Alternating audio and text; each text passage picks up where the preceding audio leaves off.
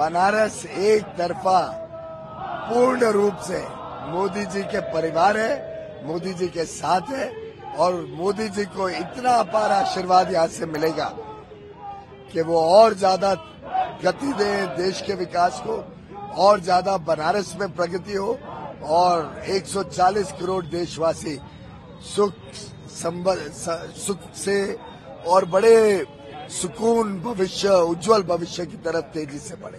Sir आज व्यापारी वर्ग से भी आप मिलने वाले हैं। आप कॉमर्स मिनिस्टर भी हैं। आप पूरे बहुत अच्छे से जानते हैं जिस तरीके से तमाम जो व्यापारी जो व्यापार आगे बढ़ा उस पर क्या कुछ देखिए बनारस के लोगों ने हर संभव देश की सेवा की है।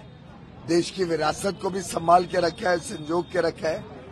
और बनारस में जिस प्रकार से व्यापार बढ़ रहा है आज पर्यटन बनारस का एक बहुत बड़ा आमदनी का साधन बन गया है। काशी विश्वनाथ के कॉरिडोर बनने के बाद करोड़ों लोग आज बनारस आते हैं और यहाँ की अर्थव्यवस्था को बल देते हैं। मैं समझता हूँ, निर्यात में भी जो बनारस का योगदान है, इन सबको जोड़े तो विकास की गंगा बनारस में बहुत तेज गति से बह रही है।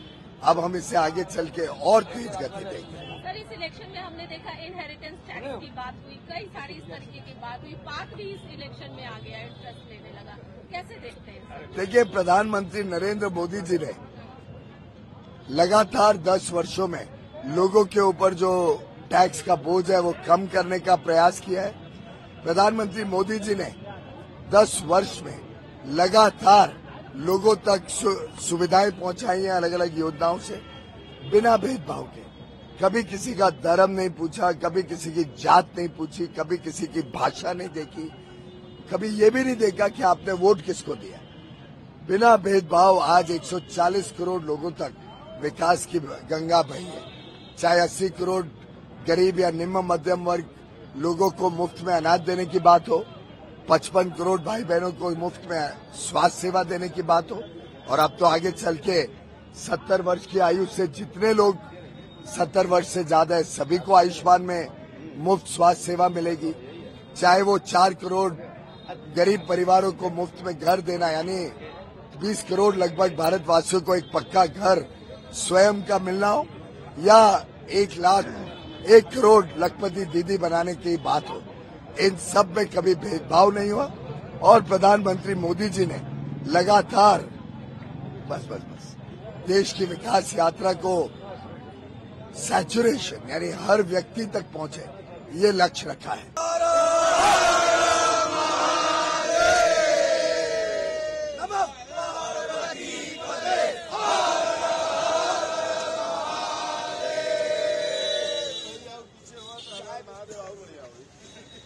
वास्तव में जो है कि काशी के साथ पूरा हिंदुस्तान, पूरा भारत तैयार है। तीसरी तीसरी बार मोदी जी को प्रधानमंत्री देखने के लिए। और जिस तरह से मोदी जी का संकल्प है कि अब की बार 400 पार, उसी तरह बनारस में हम युवाओं की टीम जो है, मोदी जी के नाम पे मोदी का परिवार एक टीम बनाई हुई है, जिसमें करीब करीब 250 लोग हैं। और मोदी का आप जो है टी शर्ट देख रही हैं। इस टी शर्ट में हम लोग सुबह सुबह मॉर्निंग वॉक के टाइम पे बनारस में जगह जगह मॉर्निंग वॉक के स्पॉट पे जाते हैं। और मोदी जी के 400 पार के संकल्प को आगे हैं। मतलब अब की बार 400 पार यही नारा को हम लेकर ले, लेके आगे बढ़ रहे हैं और निसंचो इस बार सवा चार सौ पार होंगे। मैडम बनारस के हम लोग हैं और बनारस में हम लोग अतुल का ये अब की बार 400 पार के नारे साथ चल रहे हैं और सुबह निकलते हैं दो घंटे हम लोग करते हैं। 400 पार कंफर्म आएगा मोदी जी गारंटी है तो ये होके ही रहेगा।